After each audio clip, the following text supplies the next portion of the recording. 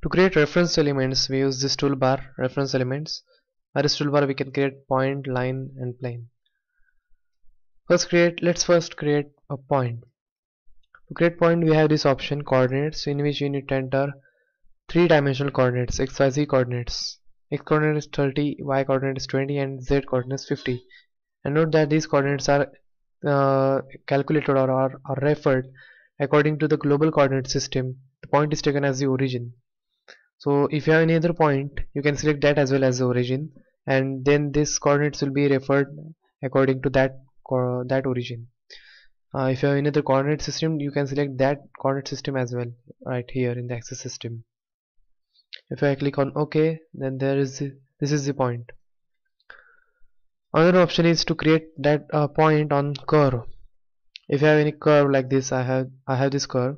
I can select this curve and then there's there's this option distance on curve. So this is the distance and it is calculated with reference to this extreme point. You can uh, you can uh, select another reference point as well. For that purpose click on this point reference point and then pick any other point available on the curve. So here is the new distance which is calculated from this extremity. Uh, there is another option which is ratio of curve length. You can also enter uh, ratio on the curve length.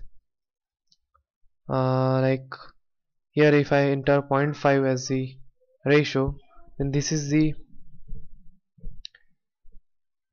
this is the midpoint uh, of this curve. If I click on if I enter 0.25 then it will be this point. So it is actually uh, the ratio of this curve length now the next thing is uh, you can create point on plane as well. If you have plane let's say I select xy plane then I need to enter x and y or sorry uh, horizontal and vertical coordinates.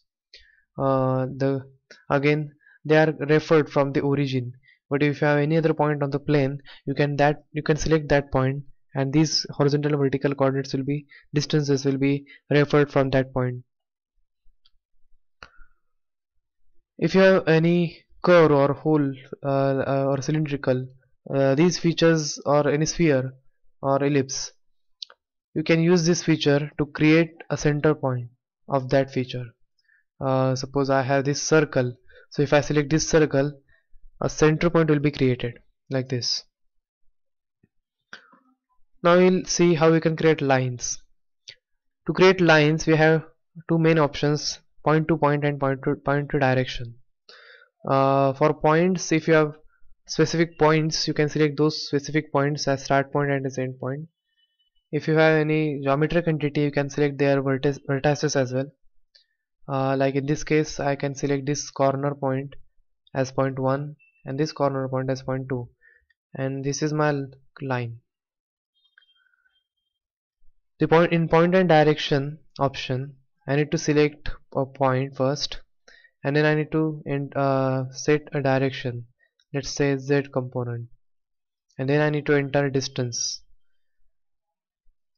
Let's say 100 and click OK. This is the line. Now I'll see how we can create planes. This is very important because uh, it's most often we need planes to create profile sketches.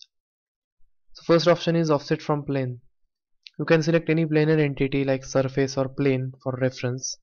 Like in this case I select this surface for as a reference. And then you need to enter the parallel distance or offset distance. Let's say 50 and click on OK.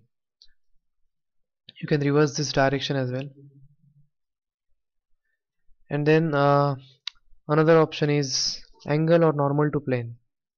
If you have uh, any base plane and you need to create a new plane uh, inclined to that plane. With uh, then you need to enter then you need to give rotation axis for that plane. Let's say y-axis and you select this xy plane as the base plane. Then you need to enter the angle of inclination and click on ok. So here is the new plane inclined plane.